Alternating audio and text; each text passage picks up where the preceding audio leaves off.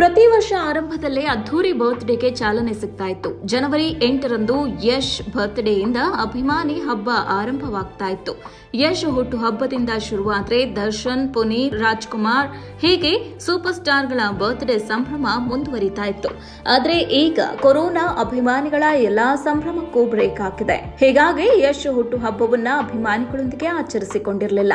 Simple ಆಗಿ ಕೇವಲ ತನ್ನ ಕುಟುಂಬದವರೊಂದಿಗೆ ಕೇಕ್ ಕಟ್ ಮಾಡುವ ಮೂಲಕ ಯಶ್ ಬರ್ತ್ಡೇ ಸೆಲೆಬ್ರೇಟ್ ಮಾಡಿಕೊಂಡಿದ್ರು.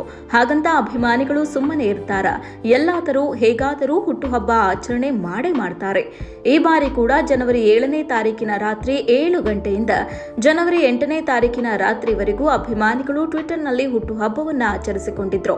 ಆ ಟ್ವೀಟ್ಗಳನ್ನೇ ಇಟ್ಟುಕೊಂಡು ಯಶ್ ಫ್ಯಾನ್ಸ್ ಈಗ ಸಂಭ್ರಮ ಪಡ್ತಿದ್ದಾರೆ. ಕೆಜಿಎಫ್ ಸಿನಿಮಾ ಬಿಡುಗಡೆಗೊಂಡ ಬಳಿಕ ರಾಕಿಂಗ್ ಸ್ಟಾರ್ ಯಶ್ ಅಭಿಮಾನಿಗಳ ಪಾಲಿಗೆ ನ್ಯಾಷನಲ್ ಸ್ಟಾರ್ ಆಗಿದ್ದಾರೆ. ದಕ್ಷಿಣದಿಂದ ಉತ್ತರ ಭಾರತದವರೆಗೂ ಯಶ್ ಅಭಿಮಾನಿಗಳು ಹುಟ್ಟಿಕೊಂಡಿದ್ದಾರೆ.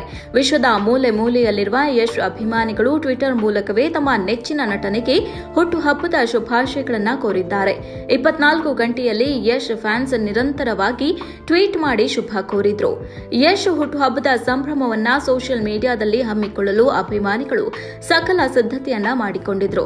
ಯಶ್ ಹುಟ್ಟುಹಬ್ಬವನ್ನ ಟ್ರೆಂಡ್ ಮಾಡಿ ದಾಖಲೆ ಮಾಡಬೇಕು ಅನ್ನುವುದು ಅವರ ಆಸೆಯಾಗಿತ್ತು. ಅದರಂತೆ ಟ್ವಿಟರ್ನಲ್ಲಿ ತಮ್ಮ ನೆಚ್ಚಿನ ನಟನಿಗೆ ವಿಶ್ ಮಾಡಿದ್ದಾರೆ. ಇಪ್ಪತ್ನಾಲ್ಕು ಗಂಟೆಗಳ ಈ ಅಭಿಯಾನದಲ್ಲಿ ಸುಮಾರು ಎರಡು ಪಾಯಿಂಟ್ ಇಪ್ಪತ್ನಾಲ್ಕು ಮಿಲಿಯನ್ನಷ್ಟು ಬರ್ತ್ಡೇ ಟ್ವೀಟ್ ಆಗಿದೆ ಎಂದು ಅಭಿಮಾನಿಗಳೇ ಹೇಳಿಕೊಂಡಿದ್ದಾರೆ. ಕೊರೋನಾ ಕಾರಣದಿಂದ ಯಶ್ ಎರಡು ವರ್ಷ ಬರ್ತ್ಡೇ ಆಚರಿಸಿಕೊಂಡಿಲ್ಲ. ಕೆಜಿಎಫ್ ರಿಲೀಸ್ ಆದ ಬಳಿಕ ಅಭಿಮಾನಿಗಳು ಥ್ರಿಲ್ ಆಗಿದ್ರು. ತಮ್ಮ ಫೇವರೆಟ್ ನಟನಿಗೆ ಗೌರವ ಸೂಚಿಸಲು ಸುಮಾರು ಇನ್ನೂರ ಮೂವತ್ತಾರು ಅಡಿ ಎತ್ತರದ ಕಟೌಟ್ ಹಾಕಿದ್ರು.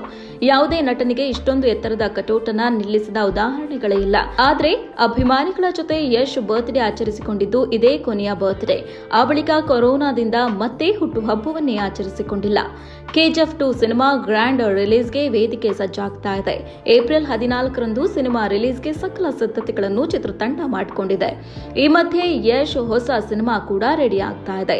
ಎರಡ್ ಸಾವಿರದ ಇಪ್ಪತ್ತ್ ಮೂರು ಜನವರಿ ಅಂದ್ರೆ ಮುಂದಿನ ಹುಟ್ಟುಹಬ್ಬಕ್ಕೆ ನರ್ತನ್ ನಿರ್ದೇಶನದ ಟೀಸರ್ ಅನ್ನ ಬಿಡುಗಡೆ ಮಾಡುವುದಾಗಿ ನಿರ್ದೇಶಕರು ಹೇಳಿಕೊಂಡಿದ್ದಾರೆ. ಹೀಗಾಗಿ ನಿರಾಸೆಯಲ್ಲಿದ್ದ ಯಶ್ ಅಭಿಮಾನಿಗಳು ಕೊಂಚ ನಿರಾಳರಾಗಿದ್ದಾರೆ.